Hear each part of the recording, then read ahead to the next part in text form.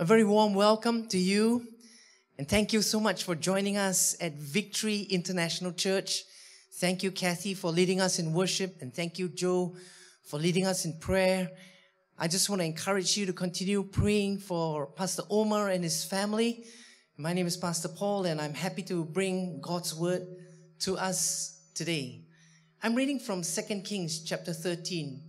Join me if you would, please. 2 Kings 13, verses 14 to 21.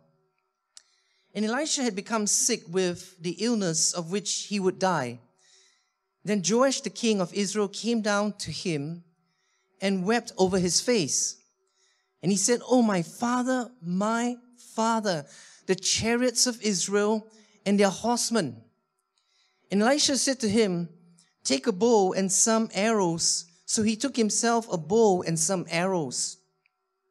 Then he said to the king of Israel, Put your hand on the bow.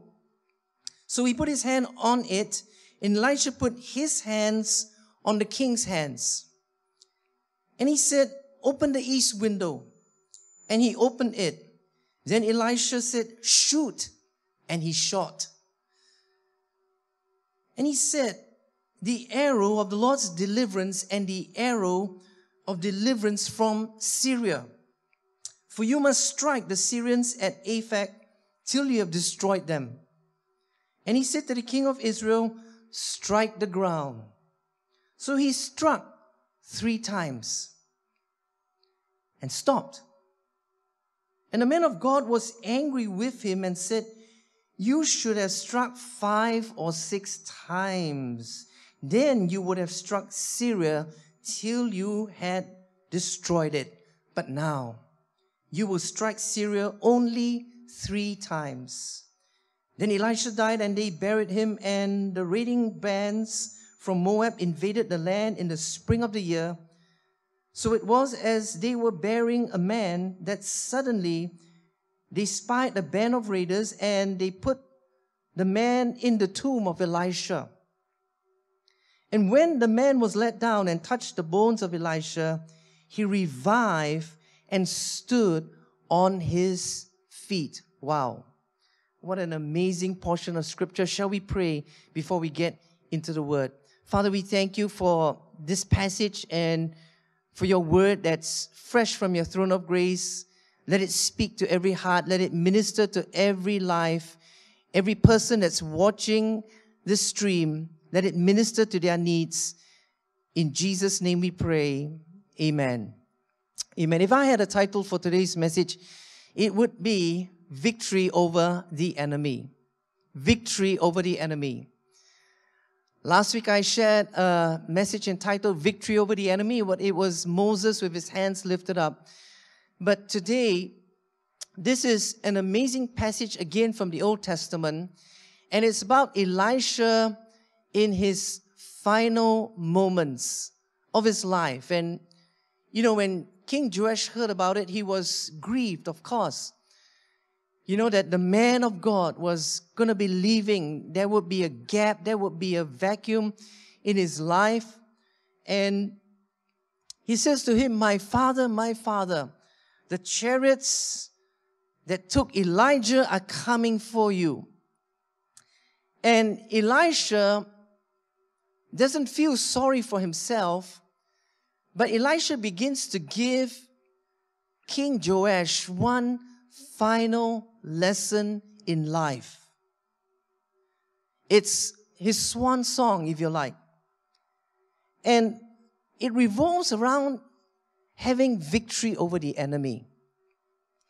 Now, you know, before someone passes away, what they say is kind of important. And so Elisha's life lesson is still important for us today. And it's meant for you and I to enter into the total victory that Jesus has won for us on the cross. Today, I'd like to share with us three important keys in order to experience victory over the enemy. And the first is this I would call it a faith position. a faith position. Now, Eli, Elisha told the king, Get a bow and some arrows. And this is what I'm going to do. Just give me a moment.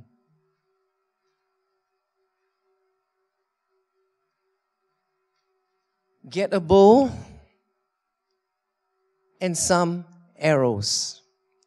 So I got me a bow and I've got me some arrows. Then Elisha gave King Joash some further instructions. He said, Now take one arrow, and I'm just going to take the orange one. And Elisha puts his hand on the king's hand in order to guide him. So I feel the guidance behind me. And he, he says, Open the east window. So it's not just pointing at you, because what's in front of me would be south, what's behind me would be north, what's on my left and on your right would be east. So open the east window, and the east window is open. And by the way, the east window is the window where the sun rises. And this scripture comes to my mind in Malachi chapter 4. It says, For you who fear my name, the sun of righteousness will, will shine with healing in his wings. And, you know, so the east window is open. It's the land. I mean, it's the, it's the direction in which the sun rises.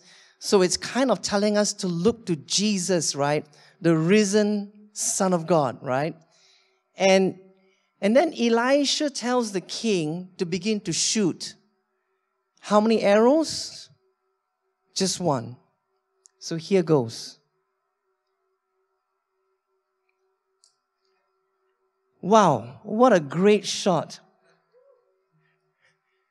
Just one shot one arrow, one transaction. That was sufficient because Elisha said, he said this, this is the Lord's arrow, an arrow of victory over your enemy. For you will completely conquer the enemy at Aphek. So, no other arrows were shot, only one arrow, one shot, and the battle is over. How could that be? I would put it to you today that Jesus is the Lord's arrow, totally sufficient to bring about complete victory over the enemy. Listen to what Hebrews chapter 10 and verse 12 says, But this man, I had three, four blue arrows with me and one orange arrow. That orange arrow was different from all the other arrows. And my Bible says in Hebrews 10 and verse 12, this man, after he had offered one sacrifice for sins forever. Sat down at the right hand of God. Jesus sat down at the right hand of God because total victory was won through that one sufficient sacrifice offered for sins forever. One. Just one total, sufficient sacrifice. It was sufficient because Jesus had no sin. We are all sinners, for all have sinned and fallen short of the glory of God. But that one sacrifice, perfect sacrifice, that sinless sacrifice of Jesus was sufficient to make covering for all our sins. This is great news Because today, if you would put your trust in Jesus alone, not in your good works, because they, they won't be good enough, right? Because we're all sinners. In that, if you put your trust in Jesus Christ alone for your sins, you can be saved. You, your sins can be forgiven. Your, there is no sin that's too big, too difficult for God to forgive because that one sacrifice was totally sufficient. But, you know, not only that, right? Victory over sin through trusting in Jesus. My Bible says, as many as receive him, he gave them the right to become children of God to those who believe in his name before this service is over, you would have the opportunity, if you do not yet know Jesus as your Lord and Savior, to give your life to Jesus, to put your trust in Him, so that you can have a relationship with a God who loves you and has a wonderful plan for your life. But you know what? It's not just victory over sin. You can have victory over many other areas in life over condemnation, over guilt, over weaknesses, over habits, over sickness, over fears, over lack, over accusations, over death and separation. You know, the list is, is quite amazing over every, every anxiety, every worry, every fear, every guilt. You can overcome all these things and be victorious as you put your trust in Jesus. Listen to the scriptures in First John chapter 5.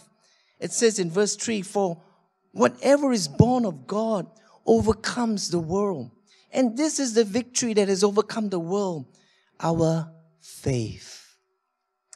Who is he who overcomes the world but he who believes that Jesus is the Son of God? Romans chapter 8, verse 37. Yes, in all these things, yet in all these things, we are more than conquerors through him who loved us. God loved you so much that he gave his one and only son to die in place, your place, for your sin, my sin, and the sins of the world. That today, if you would put your trust in him, you would not just be a conqueror, you would be more than a conqueror.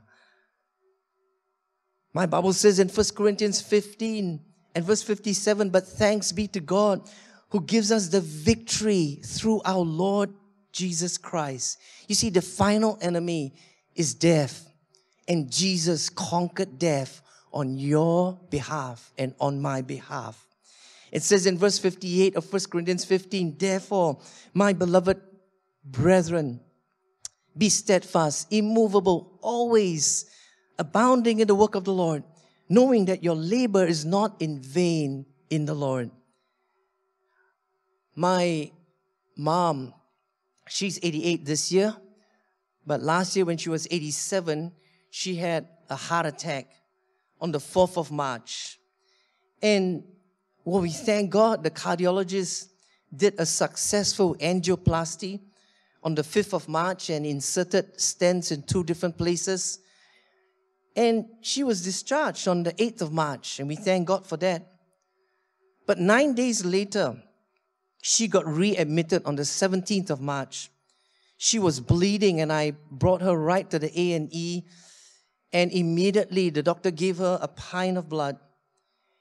Uh, but her vital signs were deteriorating, and so she was put into the high dependency ward. There was blood in her urine, her hemoglobin level was low. She didn't have any appetite. So that night, on the 17th of March, I prayed for her that night. And thank God she managed to sleep. At 3:30 in the morning on the 18th of March, this is what she told me. Someone touched my toe and said, Fear not, I am with you always. When she opened her eyes, there was no one there. Mom knew from the words spoken that it was the Lord Himself. And with that, she was assured and went back to sleep. The next morning, she gave me a call and she said, Guess what? I said, What? She relayed the whole incident to me. And shortly after that, right, there was no more blood in her urine. She didn't need to see the urologist. Her hemoglobin level was back to normal. There wasn't a need for a blood transfusion. Her appetite returned. And on that morning, on the 18th of March, they made arrangements for her to be sent to the normal ward. And she was at the evening, and within four days later, she was discharged on the 22nd of March, and she has been well ever since. Glory be to Jesus. I, I want you to know that Jesus is alive and he can touch you right where you are. As you are listening to this stream, he is the same yesterday, today, and forever. Put your trust in him. That one perfect sacrifice on the cross of Calvary, not just for your sins, but for your sickness, not just for your sickness and sins, but also for all your fears, your anxieties, your addictions. God is going to give you victory over them. This is your faith position. But the second key to having victory over the enemy is faith persistence. Faith persistence. It says in 2 Kings chapter 13 verse 17, Elisha said to King Joash, you must strike the Syrians at Aphek till you have destroyed them. Strike till you have destroyed them. Not strike till you injure them, but strike till they are destroyed totally. Let, let me put it this way in today's context. Let me encourage you to pray until something happens.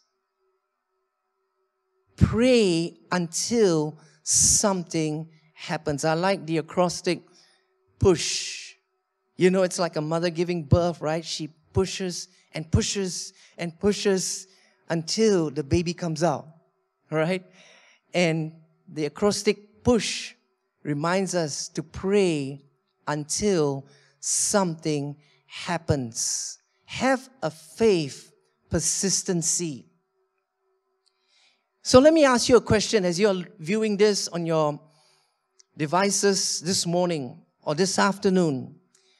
Did King Joash do as was expected of him? You can key in on the chat yes, or you can key in no. Well, for the answer, join me in 2 Kings 13 as I read verses 18 to 19. Elijah said to King Joash, Take the arrows. So he took them. And he said to the king, Strike the ground.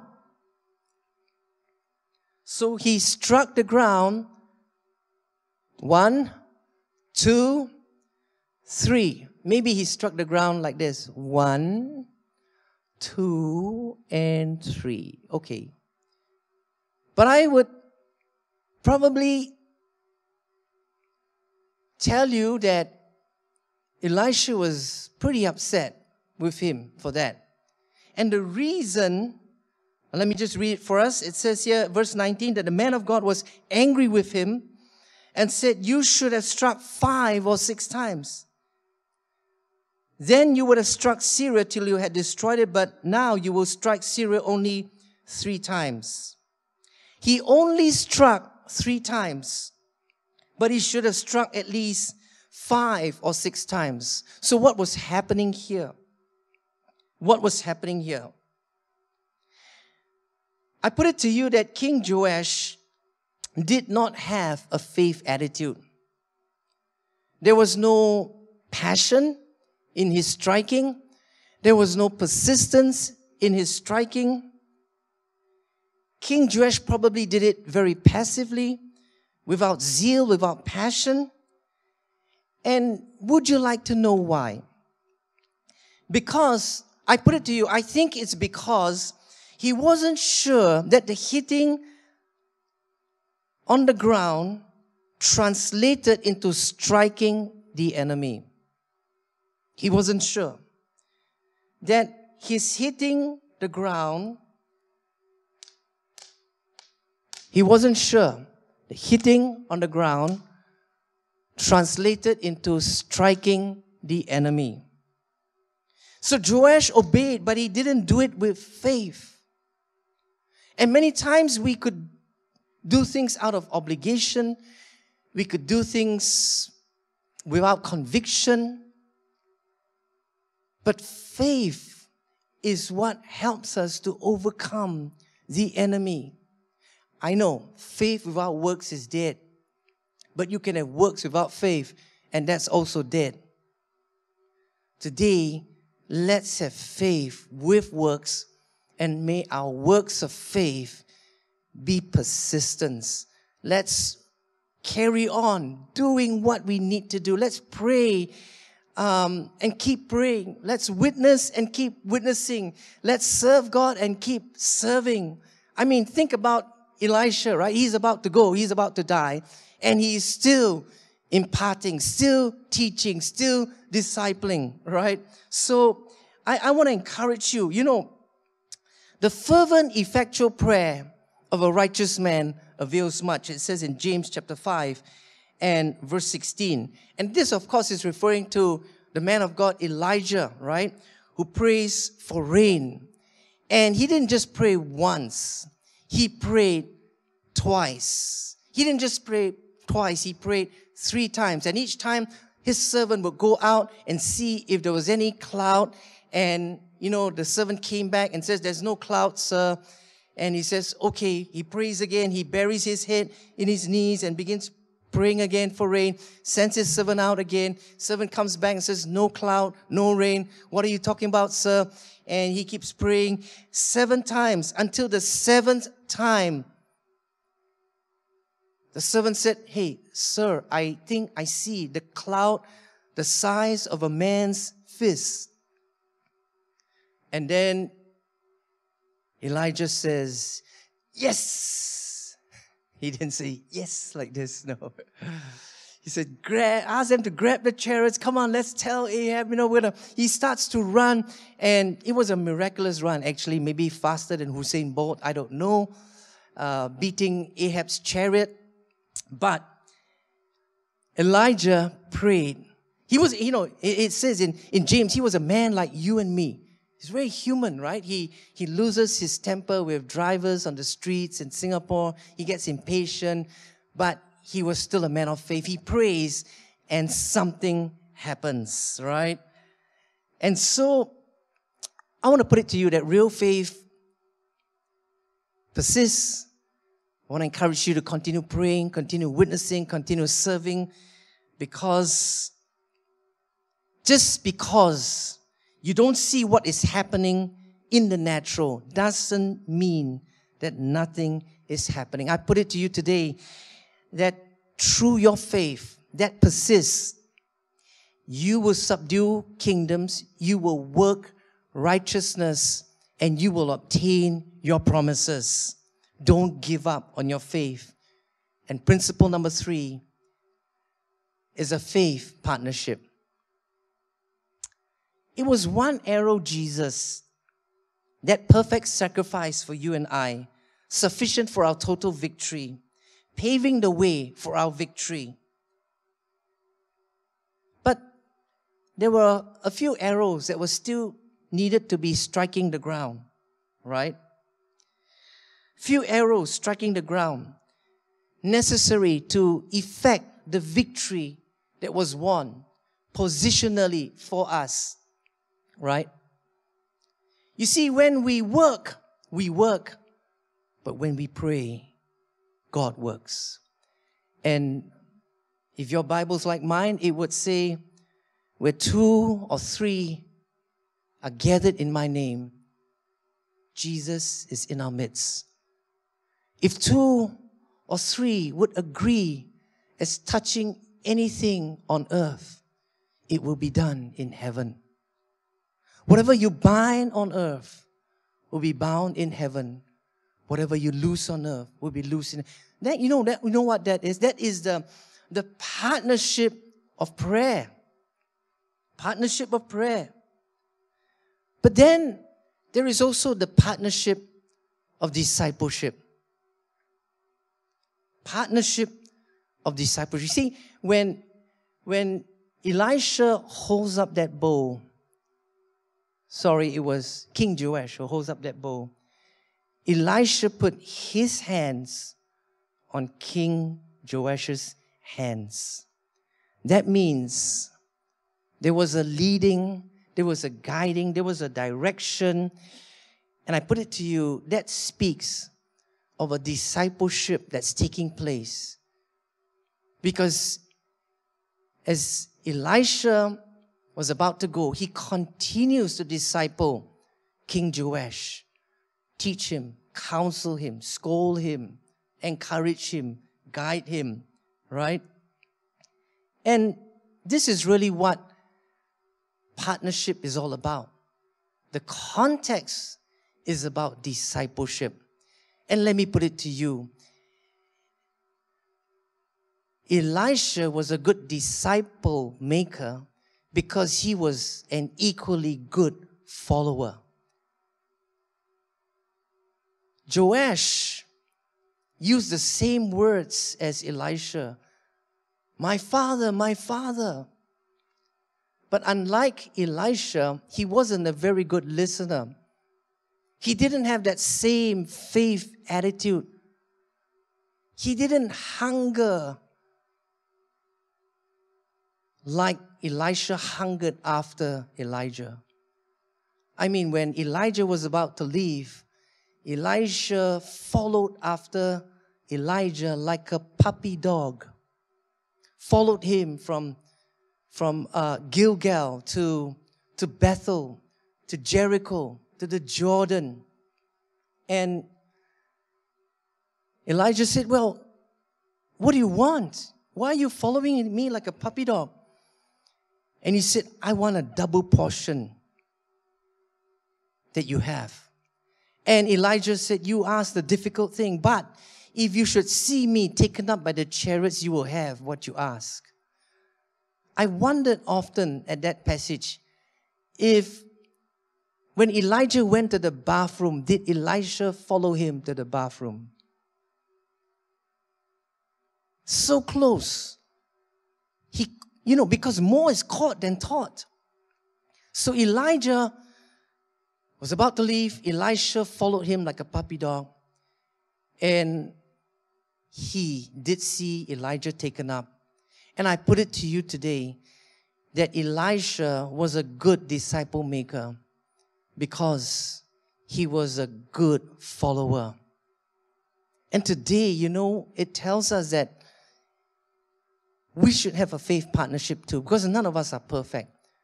We should be willing to be corrected, guided, encouraged, right?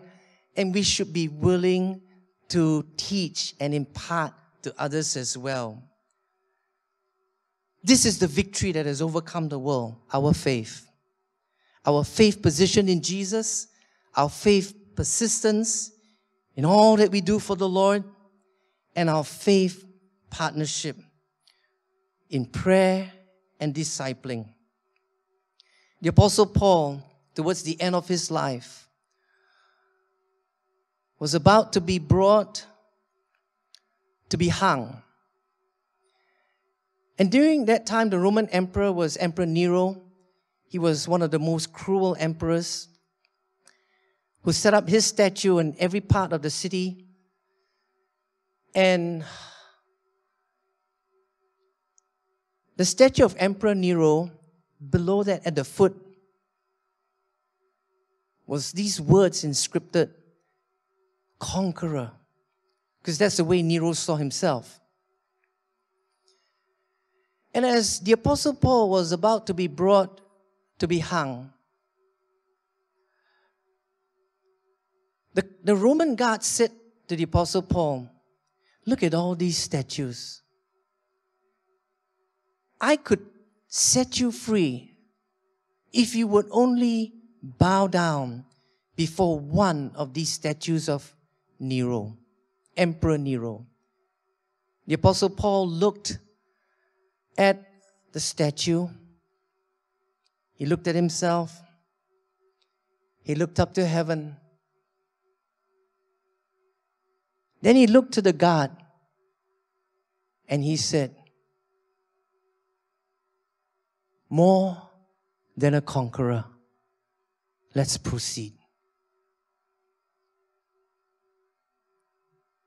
No fear of death. No fear of death. He was more than a conqueror. And today, you can be more than a conqueror through Jesus who loves you. Shall we pray?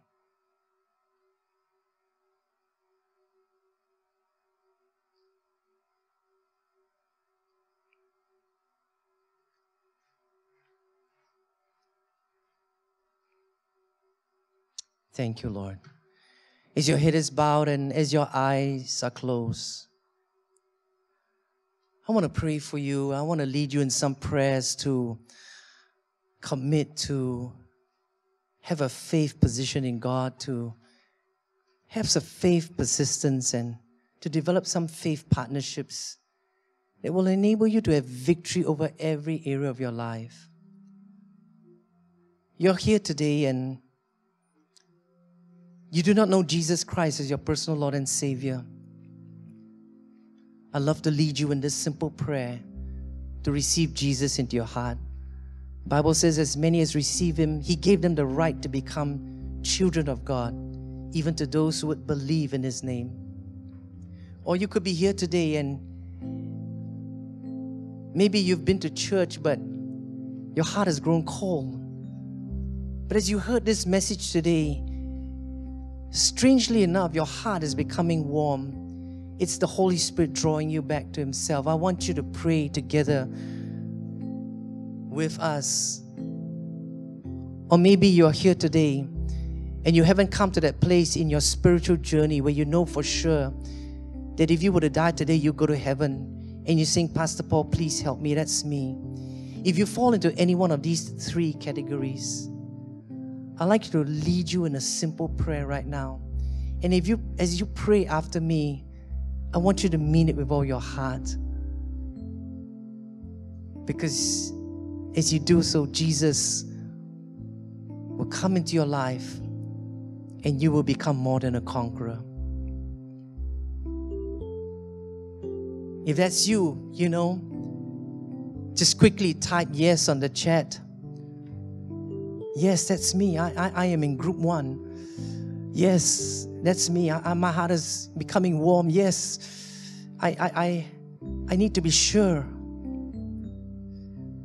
Don't hesitate. Join me right now as we pray together.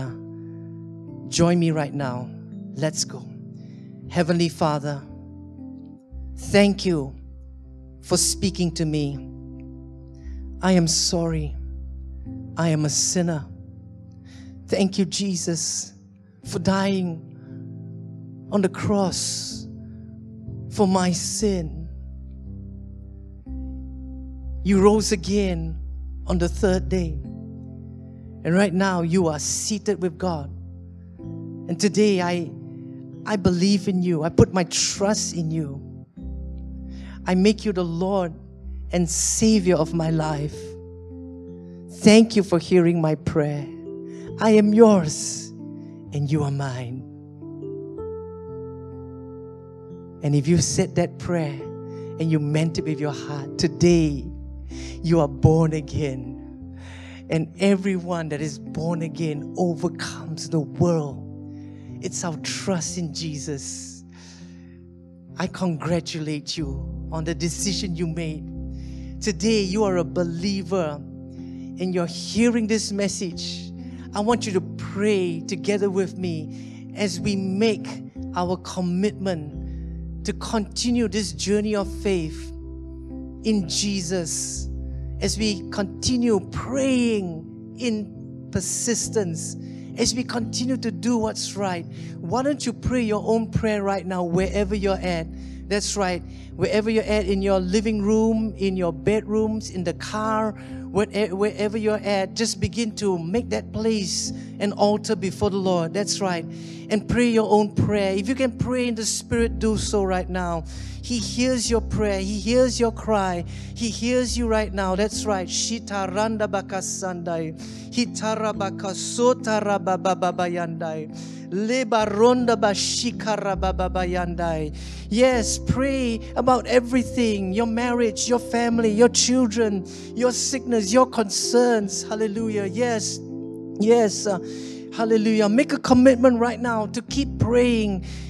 Hallelujah. Uh, uh, make a commitment right now to keep doing works of righteousness. You may be praying for your families to get saved, your spouse to get saved, your children to come back to the Lord. Whatever it is, keep praying. Keep praying. That's right. Shikarabaka Sunday. Father, right now, Lord, you hear these prayers that are made by your people, your children answer them, assure them, encourage them right now. In the name of Jesus, I come against every lie of the enemy. I come against every discouragement right now.